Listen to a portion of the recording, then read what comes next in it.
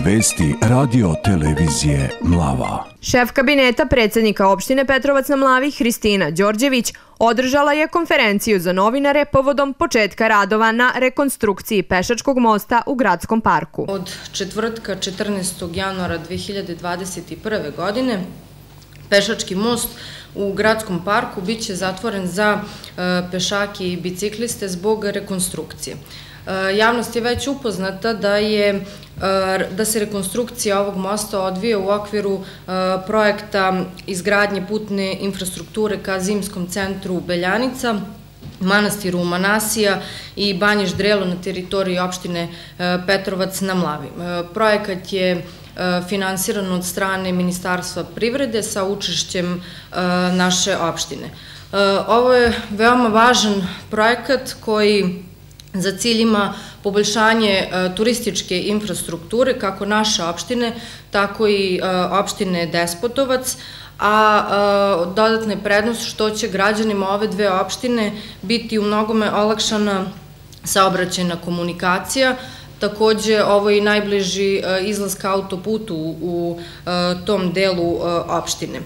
Vesti. Za razvoj sporta u opštini Veliko gradište iz budžeta za ovu godinu izdvojeno je 53 miliona dinara, što je oko 7,2 od budžeta i u proseku je više od sredstava koje dodeljuje Evropska unija koja iznose 6,4 od Predsednik opštine Veliko gradište Dragan Milić sa saradnicima potpisao je ugovore za finansiranje programa iz oblasti sporta za ovu godinu sa 32 nosioca programa za 37 prijava, za šta je dodeljeno 25 miliona dinara, uglavnom za takmičarske i dodatne programe.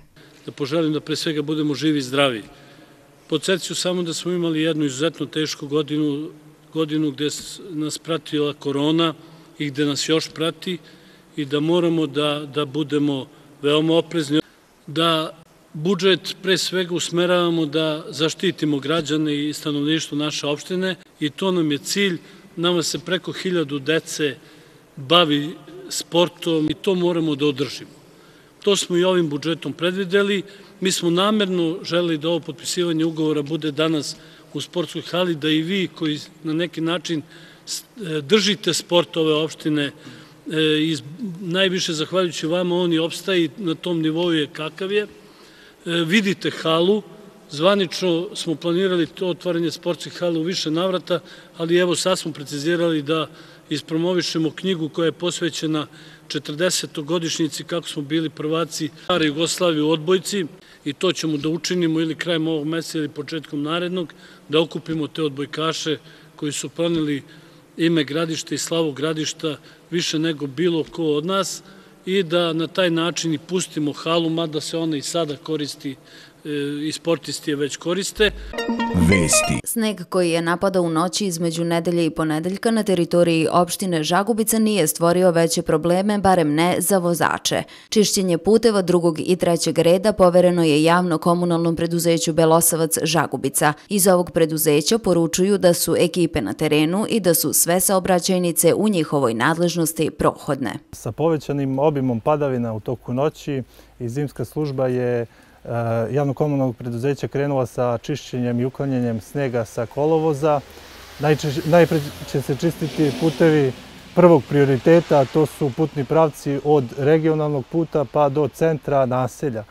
Vesti. Prema izveštaju Zavoda za javno zdravlje Požarevac za dan 12. januar 2021. godine u svim opštinama Braničevskog i Podunavskog okruga evidentirani su novi slučajevi infekcije koronavirusom. Po tri nova slučaja evidentirana su u Velikom gradištu, Žabarima i Petrovcu na Mlavi, po dva nova slučaja u Golupcu i Malom Crniću, jedan u Žagubici, 10 u Kučevu i 16 u Požarevcu. U Podunavskom okrugu 19 je novih slučajeva u Velikoj plani, u Smederevu 20 i 12 u Smederevskoj palanci.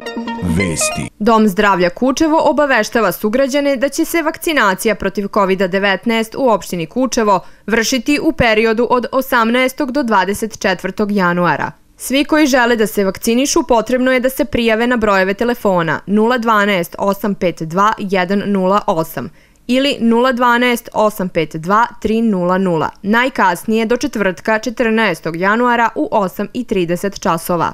Vesti. U organizaciji Instituta za transfuziju krvi Srbije, Crvenog krsta Žagubica i lokalne samouprave sprovedena je prva redovna akcija dobrovoljnog davanja krvi u prostorijama tehničke škole u Žagubici, koja se organizuje već 13. godinu za redom, a na akciju se već u prvom satu odazvao veliki broj davalaca. Ono što je za cilj pre svega ima ova današnja akcija jeste da se u ovom zimskom periodu prikupi što više jedinica krvi da bi mogli da odgovorimo zahteva prema svim bolnicama, što u Beogradu, što prema opštim bolnicama ovde u Braničevskom regionu. Uh, ono što bih mogao desto da istaknem sad trenutno jeste da u prvi sat vremena se odazvalo već skoro 20 vaših sugrađana i možemo da budemo zadovoljni kako se odvija današnja akcija. Nadamo se da će do kraja radnog vremena biti i jedna od uspešnijih akcija po ovom, da kažemo, hladnom vremenu i obzirom da se nalazimo u vreme pandemije COVID-19.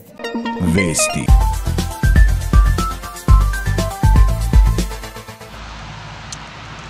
Nakon gotovo prolećnih praznika usred januara, prava zima je najza tu.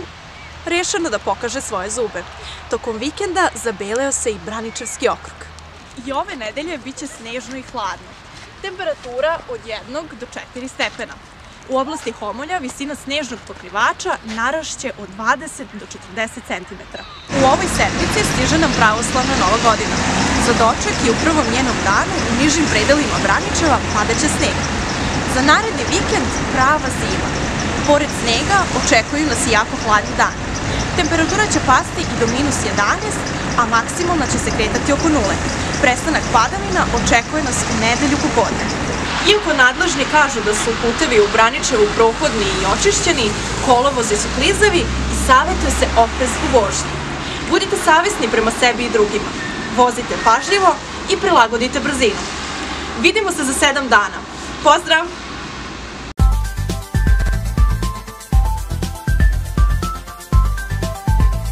Opširnije izdanje vesti možete pogledati na televiziji Mlava u Braničevskom infu u 18, 22, 9 i 14 časova ili u skraćenom izdanju vesti na svakih sat vremena.